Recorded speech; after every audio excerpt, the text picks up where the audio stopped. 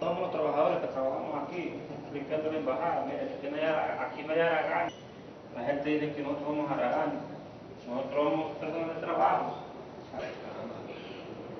Y también hacemos el café aquí, mire, Esto es café bien. Ajá, dígame. Dígame, dígame, le escucho. El día para nosotros es tenso, es cargado, es lleno de amenazas, a veces también lleno de esperanzas al saber de que un día eh, podemos salir de acá con una victoria por la libertad del mundo y por la libertad del pueblo. Los liberales, que ese pez Zelaya nos hizo perder, dice el pobrecito de pie. A relajar.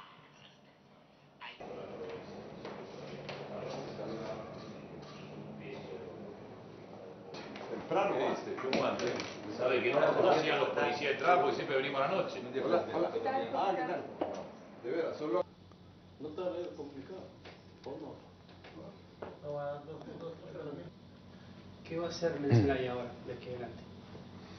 Bueno, yo quiero decir que lo que ha hecho el Congreso hoy no revoca mi mandato. Mi mandato me lo dio el pueblo, yo soy presidente hasta el 27 de enero del 2010. Y seguiré, pues, manteniendo mis posiciones firmes ante la comunidad americana, ante el mundo, como la espada de Damocles frente al golpe de Estado. Espérame, espérame, espérame.